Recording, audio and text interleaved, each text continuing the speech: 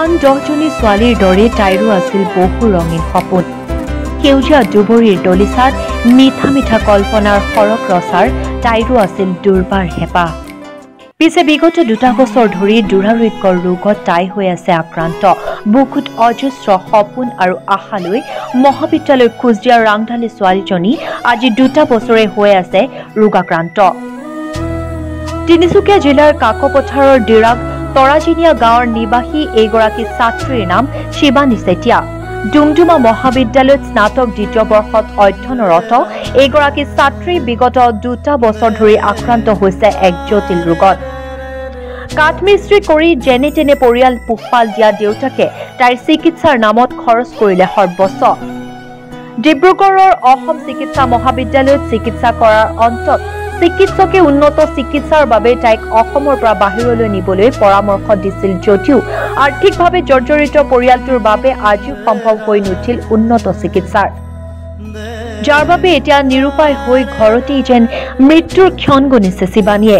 এগৰাকী মেধা ছাত্ৰী তাই ডুনমা কলেজত পঢ়ি আছিল। তাই দুহেজাৰ ওঠৰ চনৰ পৰা আজিলৈকে এক দুৰাৰোগ্য ৰোগত ভুগি আছে। অতি দৰিদ্ৰ পৰিয়ালটি উন্নত চিকিৎসাৰ বাবে টকাৰ অভাৱত উন্নত চিকিৎসা কৰিব পৰা নাই। তথাপিতো তাই জীয়াই থকাৰ আছে বহু হেঁপাহ। কল্পনাৰ আকাশত উঠি ভাহি জীৱনটোক হেঁপাহেৰে সজাবলৈ তাইৰ আছে বহুত আশা। মই দুবছৰ ধৰি বেমাৰত ভুগি আছোঁ। মই ডুমডুমা কলেজত পঢ়ি আছিলোঁ ছেকেণ্ড চেম পাইছিলোঁ আৰু মোৰ চিকিৎসা কৰি থকা কিন্তু এতিয়ালৈকে ভাল পোৱা নাই। ভাল হোৱা নাই উন্নত চিকিৎসা কৰিব পৰা নাই। সকলোৱে যেন সহায় কৰে চিকিৎসাৰ বাবে ভাল চিকিৎসাৰ বাবে।